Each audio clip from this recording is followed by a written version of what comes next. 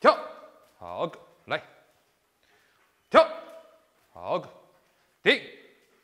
狗狗变乖并不难。Hello，大家好，我是有着二十年训犬经验的职业训犬师老朴。狗狗有问题，老朴来帮忙，跟着老朴一起来了解如何让你的狗狗变乖吧。那么之前呢，老朴给大家讲了如何选择好自己的狗狗。当我们选择好狗之后呢，在狗回家之前，我们到底需要准备些什么呢？不要着急，跟着老朴，我会为大家一一讲解。那么其实呢，按照我们中国人来说呢，我们讲究什么？衣食住行。其实对于狗狗来说，也不外乎衣食住行。那么我们首先呢来说住，因为狗狗回到家第一个问题呢就是解决它住的问题。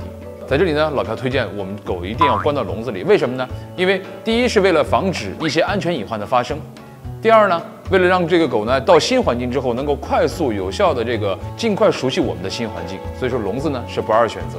住在笼子里的还有一个好处呢，就是为了以后我们的一系列的训练来打基础，而不是像我们很多人想的关到笼子里会比较残忍，因为狗呢是洞穴型动物，在笼子里呢反而它有安全感。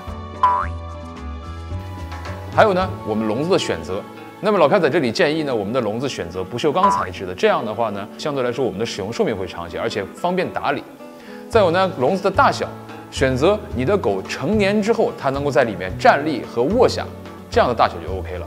如果太大呢，浪费空间，而且不好清理；如果太小呢，没用到它成年，已经没办法用了，你造成一个资源浪费，这没必要。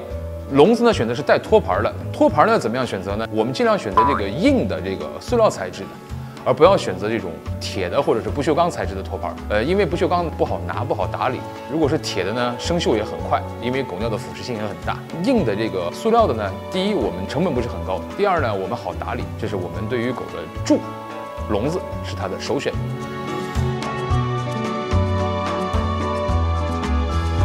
那么说完了住呢，我们来说说吃。我们经常说民以食为天，那么同样，我们的狗狗也是以饭最大。我们需要准备的，第一，食物；第二，用品。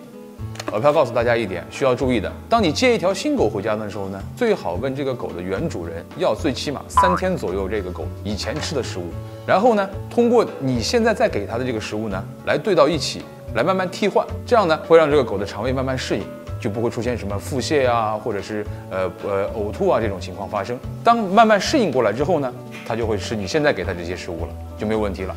那么接下来呢是我们的水。我们都知道，我们的狗呢是不能缺水的，所以说呢，我们的水盆放在笼子里的时候呢，又怕狗打翻，怎么办？选择比较重一些的这个材质的，比如说陶瓷的，方便清理，同时又比较重，狗又不容易打翻，这样呢就会比较好，也比较合适。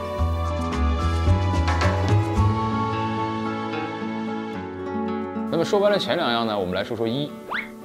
这个衣呢，对于我们人人来说呢是衣着，对于狗来说呢，人家自带的皮草大衣。不需要咱操心太多，但是呢，同样也不能忽略。如果我们带幼犬回家呢，就需要对它的保暖，在它的笼子里铺一块垫子。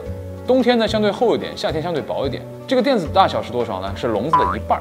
它冷了，它知道回去在垫子上窝着睡觉；它热了呢，它会到另外一半。而且空出来的这一半呢，也方便它大小便上厕所。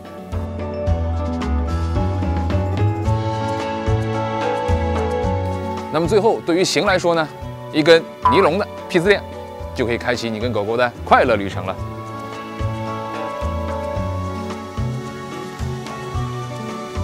那么说完了衣食住行，大家现在都知道狗狗在回家之前我们需要准备的东西是什么了吗？